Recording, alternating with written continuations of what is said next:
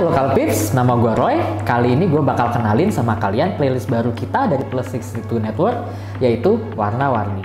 Jadi di playlist kita kali ini gue bakal angkat beberapa tempat, momen, atau hal-hal menarik lainnya yang bisa kalian jadikan sebagai flash update, news info, atau menambah bahasan kalian saat lagi nongkrong sama tongkrongan kalian. Nah, di episode pertama gue bakal bahas 5 tempat yang seru untuk ngelakuin aktivitas river cruise dan susur sungai.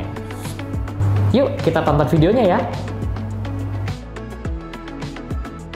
Nah, yang pertama, kita bakal terbang ke Bangkok nih lokal tips. Ups, namanya sekarang udah ganti loh, jadi Krung Tap Manganakon. Tapi lokal tips nggak perlu khawatir, karena masyarakat global tetap diperbolehkan menggunakan nama Bangkok untuk ibu kota Thailand ini.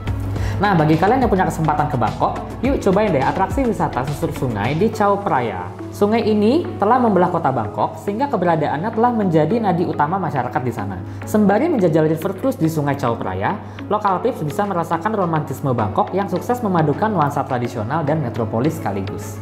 Dari atas perahu motor yang lokal tips naiki, kalian akan disuguhi beberapa view yang bagus banget deh, seperti gedung-gedung pecakar langit, rumah panggung khas Bangkok, pagoda-pagoda yang menyembul di berbagai sisi, juga puncak Wat Airun yang menjadi landmark dari kota Bangkok.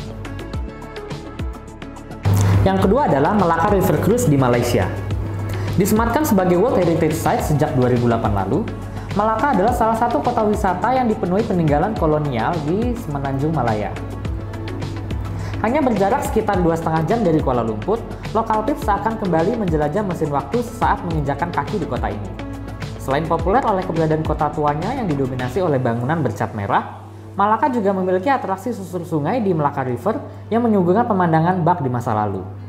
Selama berlayar, lokal pips bisa melihat sekeliling kontur kota yang dipenuhi oleh bangunan tua dan mural-mural di sepanjang sisi sungainya. Tanya itu, kalian juga bakal melewati 8 jembatan dengan keunikannya masing-masing loh. Konnichiwa lokal pips, Yuk kita sekarang bertandang ke negeri Sakura, tepatnya di Osaka. Di kota ini terdapat satu spot ikonis yang hampir tidak pernah sepi oleh wisatawan dunia, yakni kawasan Dotonbori Street. Sudah bayang dong ada apa aja di sana? Yap, kawasan Dotonbori Street akan menyuguhkan betapa modernnya Osaka. Sepanjang jalan, kalian akan dimanjakan kelap-kelip lampu neon yang sangat cantik dan jajanan kuliner yang lezat-lezat loh. Nah, guna melemaskan kaki selama menyusuri tempat ini, kita coba naik Tombori River Cruise yuk. Selama 20 menit lamanya, Anda bisa berlayar santai sembari melewati pemandangan Dotonbori Street yang bertaburkan papan reklame raksasa, neon box warna-warni, hingga logo ikonis Glico Running Man. Oh ya, untuk lebih maksimal, coba naiki Tombori River Cruise ini saat malam hari tiba ya.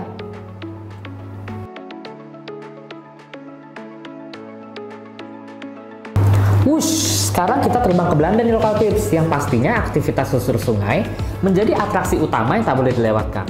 Karena Belanda sendiri dijuluki sebagai negeri seribu kanal. Dari banyaknya susur sungai yang asik dikunjungi, kami rekomendasikan Giton Village yang ada di kota Steenwijk. Berjarak sekitar 2 jam perjalanan menggunakan kereta api dari ibu kota Amsterdam, setibanya di Giton Village, lokal tips bisa segera menyewa Flusterboot untuk susur kanal di desa ini. Rasa syahdu dan tenang, Giton Village masih mempertahankan bentuk desanya semenjak pertama kali dihuni sejak abad ke-13 lalu.